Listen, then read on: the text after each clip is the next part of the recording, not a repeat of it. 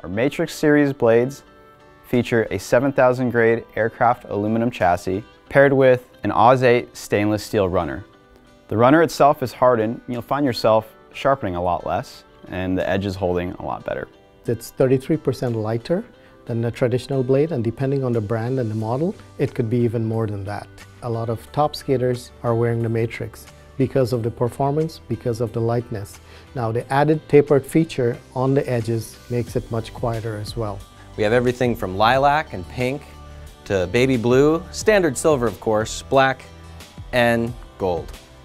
We use an anodized process that allows us to color all the blade except the runner, and that coloring extends all the way, including the axles.